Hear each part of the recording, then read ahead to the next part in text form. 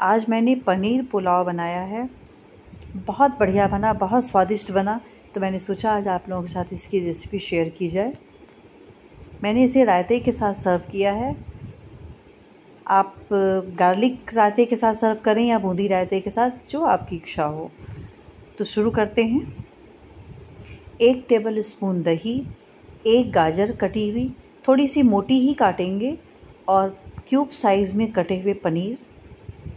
Half tea spoon नमक, एक tea spoon के करीब हमने लिया है कसूरी मेथी, हाफ़ टी स्पून जीरा, एक टीस्पून के करीब स्याह ज़ीरा, मिर्चा पिसा हुआ और वन फोर्थ टी स्पून के करीब मैंने गरम मसाला लिया है। ये सारी चीज़ें पनीर और गाजर में मिक्स करके 10 से 15 मिनट के लिए रखना है।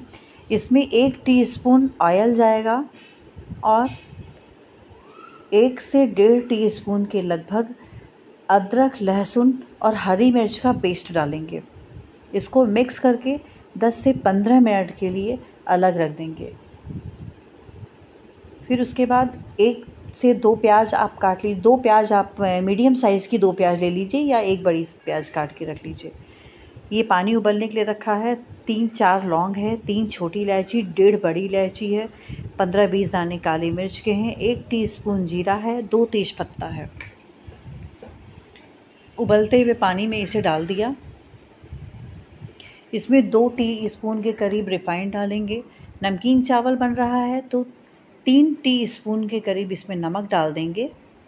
और इस उबलते हुए पानी में पहले से भीगे हुए चावलों को डाल देंगे और इसे दो मिनट उबलने देंगे। दो मिनट उबलने के बाद गैस धीमी कर देंगे और धीमी आँच पर दो मिनट पकने देंगे।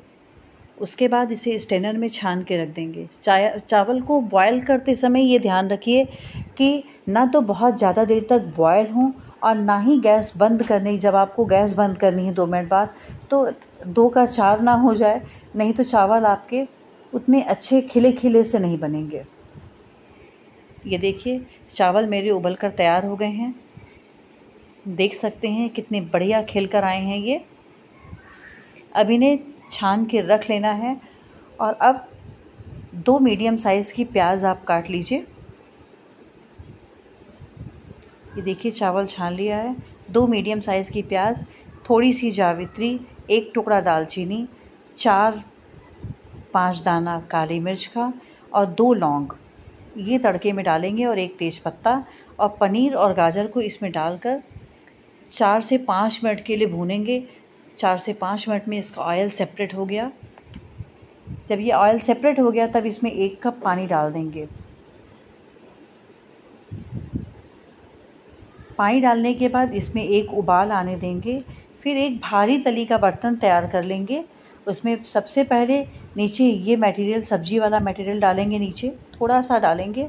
फिर ऊपर से चावल की एक लेयर डालकर बाकी बची हुई सब्जियों को उसके ऊपर से डाल देंगे।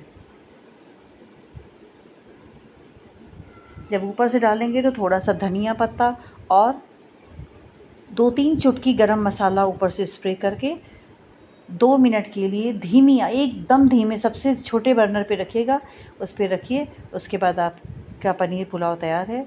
अब आप उसका आनंद लीजिए।